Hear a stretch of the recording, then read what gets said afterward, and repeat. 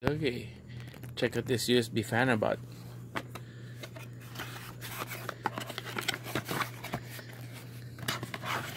Uh, yeah, it came in blue. I think that was the only color it came in. It was cheap. I think it was 10 bucks. So it looks like, oh, this is the cover. Here, look, it has dual fans, plastic blades, comes with a charger cord. Let me put this guy back so I don't hurt myself. Looks like it just snaps right in. Snap, snap, snap, snap, snap, snap. And looks like there's a a zero, a one, and a two. Here's number one. Looks like both the blades are going.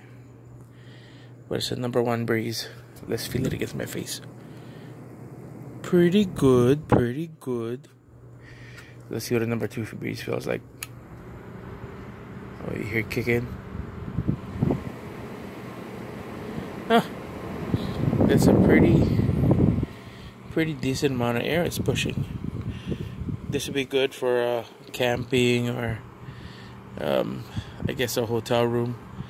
Good white noise type of deal. Also, it's uh, so it's uh, not so stuffy when the AC fan isn't good enough for you. LED light, charger. Um, I don't see but probably there's a way to open this up but probably not to change the battery. Didn't see anything. Let's try and pop this back off again. This looks a little dangerous. Looks like there's a screw right there. Might be may have to do a little bit of surgery I wonder here look watch this is on one see both are going and here's two I wonder if it hurts. Don't do this at home. Eh, it's not too bad. So you don't have to worry about your kids doing it. Let's do it on high. Oh, that's off.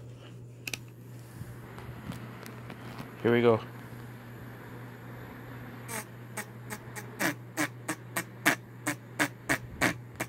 Eh, it's alright. You're not gonna die.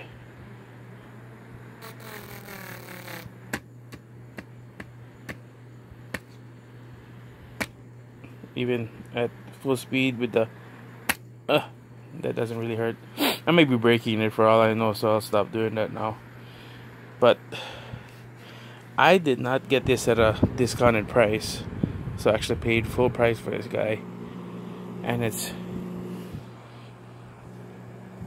actually feels pretty good. I don't know how this will do on a hot day, but it's evening time right now and it's pretty okay. You know, maybe charge it up at work and bring it home so you don't have to use your own electricity. Ah, not.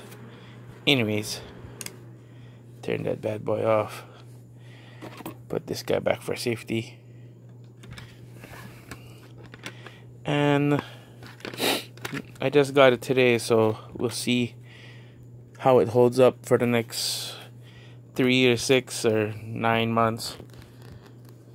And uh, so far, I like it. Looks good. Let's see how it holds up. Alright. Peace out, bitches.